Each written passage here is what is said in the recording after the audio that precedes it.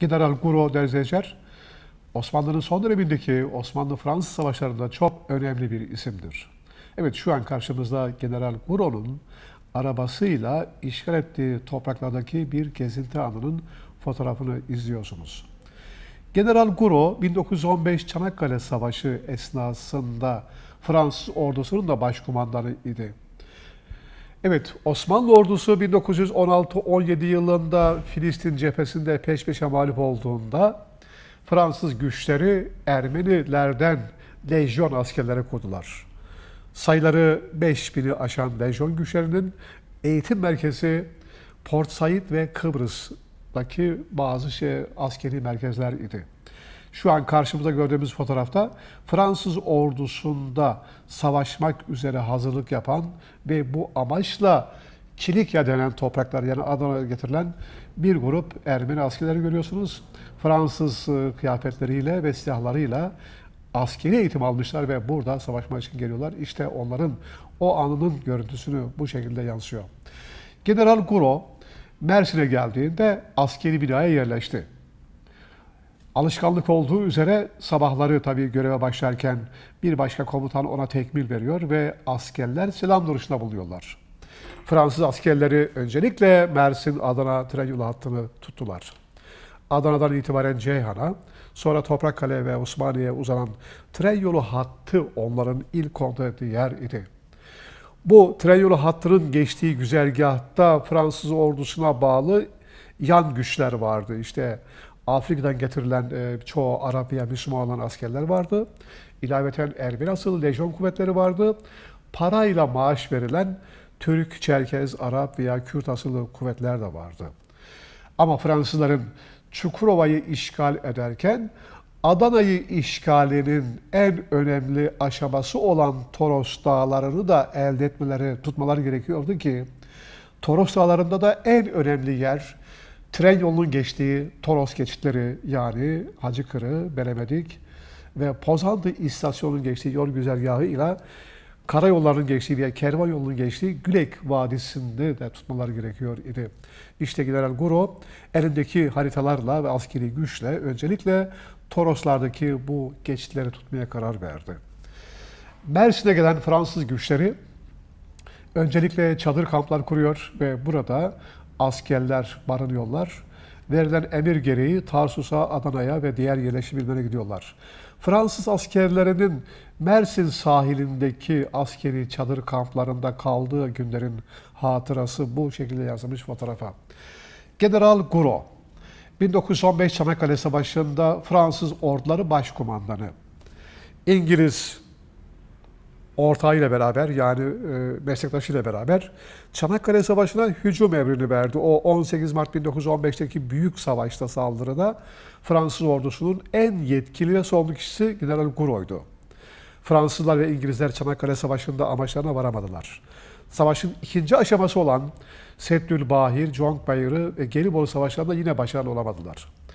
Bir Türk topçusunun attığı mermi General Gouro'nun yakınında parçaladı ve General Gouro'nun sağ kolu koptu.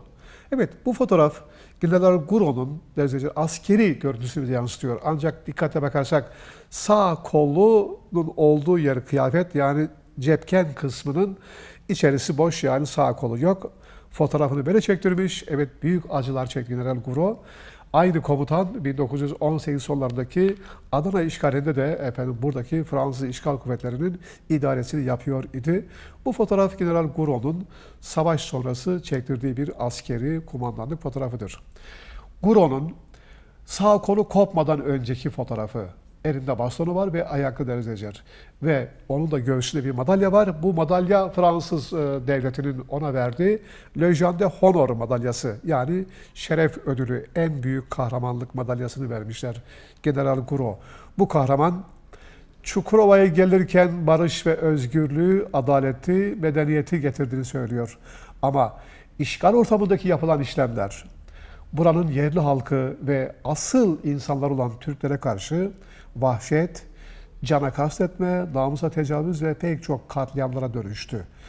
Bu şeyde baktığımız zaman işgal güçlerinin başındaki General Guro bir bakıma işgal idaresinin de yaptığı her türlü kirli işlerden sorumluydu.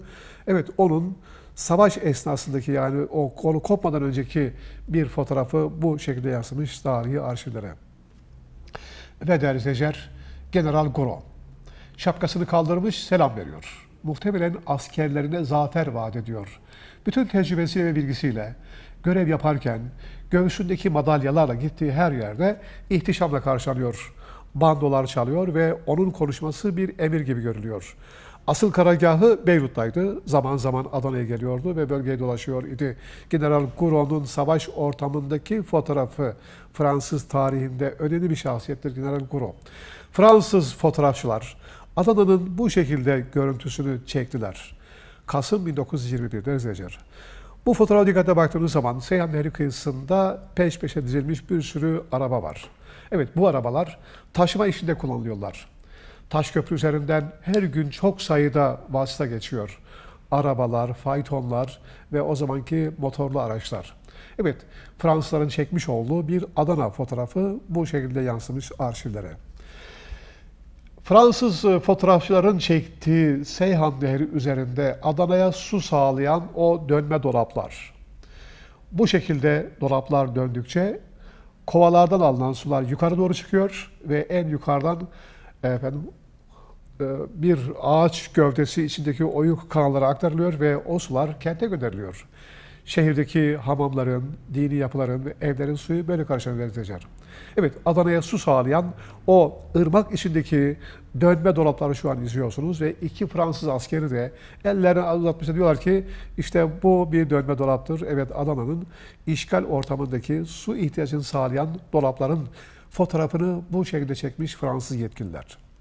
Ve burası da Seyhan Nehri kıyısında sayıları 50'yi 60'ı bulan değirmenlerden efendim bir grup değirmenin olduğu yer. Irmağın batı tarafında karşıda Adana Vali Konağı var. Vali Konağı'nın ön tarafında o zamanki askeri idadi yani ortaokul ve lise binası var. Evet 1920 tarihinde Adana şehrindeki ekonominin en önemli kaynağı olan, merkezi olan ırmak içindeki değirmenlerden efendim bir grubun fotoğrafını bu şekilde çekmiş Fransızlar 1920 tarihinde. Ve burası Adana. Toros dağlarından kıvrım kıvrım süzülerek gelen Seyhan Nehri şehrin kuzeyinde kıvrım yapıyor ve Taşköprü'nün aşağıdan geçerekten Akdeniz'e doğru uzanıp gidiyor. Seyhan Nehri'nin Adana'ya yaklaştığı yerde nehrin sol tarafında derzecer askeri kolordu binası görülüyor. Kolordu binasının ırmağa yakın yerdeki o görmüş olduğumuz yapılar kereste fabrikalarıdır. Zaten ırmağın kıyısı da Salcılar Mahallesi diye biliniyor.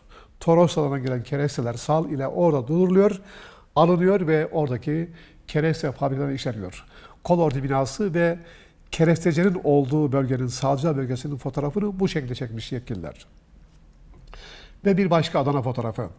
Bunu da Fransızlar çekti Dezecer. Evet Adana'daki Seyhan Nehri, Taşköprü ve karşımızda Tepebağ eteklerini görüyorsunuz. Kale kapısı ve tarihi konaklar, binalar Adana'nın o zamanki görüntüsü bu şekilde yansımış fotoğrafa. Evet yıl 1920'li evet işgal günleri. İşgal günlerinin bir başka acı gerçeği. Fransız ordusu olanca heybetiyle ve gücüyle, ihtişamıyla Adana'ya giriş yapıyor. Atlar üzerindeki süvari kuvvetleri, ellerinde tüfekler, kılıçlar, tabancalar, bando takımı, onları karşılayan binlerce insan, yaşasın Fransız ordusu diyenler. Ama etraftaki binalara dikkatle bakın, ikinci kata, üçüncü kata, başlarını uzatmış, onlara gülümseyen, el sallayan insanlar var ve bu kare fotoğrafta bir tane Türk bayrağı yok. Yüzyıllardır Adana'daki ezan sesleri, Türk bayrağının efendim dalgalanması bir bütünlük arz ediyor idi. Ancak Fransız işgalle beraber işgal kuvvetleri komutanı bütün binalardan, okullardan, her yerden ay yıldızlı Türk bayrağının indirilmesi emrini verdi. Bu karardan sonra Fransız ordusu Adana'ya girerken işgalcileri alkışlayanlar var. Ama bir tane Türk bayrağı yok. O acı günlerin fotoğrafı bu şekilde çekilmiş ve arşivlere konmuş. Evet bir işgal günleri fotoğrafı. Bir başka fotoğraf görüyorsunuz. Tepebağ'daki efendim görüken konakların ve binaların görüntüsü işgal günlerinin efendim bir yansıması bu fotoğrafta çekilmiş ve arşive konmuş. Az önce size bahsettiğim Toros Dağları'ndan sal üzerinde getirilen kerestelerin şehre girişteki ırmak kıyısına yanaştırılması, oradaki tomrukların veyahut da tahtaların veyahut da ağaç parçalarının sahile taşınması ve az ilerideki kereste fabrikatörülmesi olayını gösteren bir kare fotoğraf görüyorsunuz. Evet, bu da işgal günlerindeki Adana'nın ekonomisinin bir başka görüntüsü. Ve Fransızlar şehir merkezindeki kasaplar çarşısının efendim görüntüsünü bu şekilde fotoğrafını çekmişler. İşgal devam ediyor ve Adana şehri onların kontrolünde. Toplumun her türlü ihtiyacını onlar kontrol ediyorlar ve gideriyorlar. Aynı zamanda fotoğraf da çekiyorlar. İşte o günlerin fotoğrafını görüyorsunuz. Burası Kasaplar Çarşısı. Ve burası Pozantı. İşgal güçleri, komutanlar, askerler, tanklar, uçaklar Pozantı'ya geldiler. Pozantı kasabasının yani bir büyük şehir değil ama nüfusu diyelim ki 500 bin arası olan efendim o yerleşim biriminin caminin aşağısında Fransız askeri birliği oraya yerleşti. Etrafı tellerle çevrildi. Zaman zaman Fransız komutan Pozantı'daki ana cadde caminin oradan efendim, yürüyüş yapıyorlar ve fotoğraf çekiyorlar. İşte bu da işgal günlerinde Fransa'nın çekmiş olduğu bir kare fotoğraftır ve bize o günleri hatırlatıyor. Evet Fransızlar Pozantı'da. Fransız komutan görev esnasında tekmil veriyor, yoklamalar alınıyor ve günlük olarak açıklamalar yapılıyor. Elleri silahlı, pür dikkat komutanı dinleyen oradaki askerler verilecek görevi yapmak istiyorlar. Bu görev nöbettir, silah aramadır, köyleri dolaşmadır ve karakollarda efendim, nöbet beklemedir. Pozantı'nın az ilerisindeki oradaki tarihi köprünün olduğu yerde yani Şekerpınar'ın olduğu yerde Ulu Kışla'da yine Fransızların karakolları vardı ve Fransızların o bölgeyi kontrol noktaları uzanıyordu Torosların içine kadar. Şimdi Fransızların tutmuş olduğu Pozantı Vadisi, Güney Boğazı, tren hatlarını efendim aşmak mümkün değil. O şekilde Toros dağlarını kontrol eden Fransızlar rahatlıkla Çukurova'yı da yani kendilerine bağlayacaklardı. İşte o günlerin hatırası Fransız komutan görev esnasında bu şekilde fotoğraf çektiriyor. Evet, ellerinde Fransız bayrağıyla, silahlarla görev yapan bir grup Ermeni lejyoner asker. Bunlar Fransa'nın menfaatleri için bölgemizde görev yapıyorlar. Ölüyorlar ve öldürüyorlar. Fransız bayrağı altında savaşmak için gelen ve görev yapan bir grup Ermeni askerin fotoğrafı. Ve derseyişer, Pozantı'ya bakan bir tepe üzerinde siperlerin efendim orada Hendek'te oturan Fransız askerleri. Ellerinde dürbünle tren yolu hattının geçtiği yere bakıyorlar. Komutanlara haber ulaştırıyorlar. Pozantı'nın etrafındaki o çam ağaçlarının olduğu yerde görev yapan bir grup Fransız askerinin fotoğrafı bu şekilde çekilmiş. Evet görüyorsunuz karşınızda. Ve Pozantı yakınlarındaki istasyona yakın yerdeki bir karakol binası ve karakolun da ön tarafında orayı bekleyen bir grup Fransız asker. Hacı Kırı, Belemedik, Pozantı ve etraftaki önemli kavşaklar ve yerleşim birimleri bu şekilde yapılan karakollarla kontrol ediyor.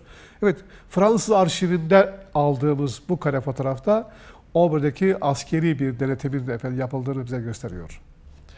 Ve Derzecer, dağların eteğinde bir Fransız tankı, önde de bir Fransız askeri. Tank hareket ediyor ve hedefleri vuruyor. Evet, savaşmak için gelen bir Fransız tankı ve askerin çektirdiği fotoğrafı şu an izliyorsunuz.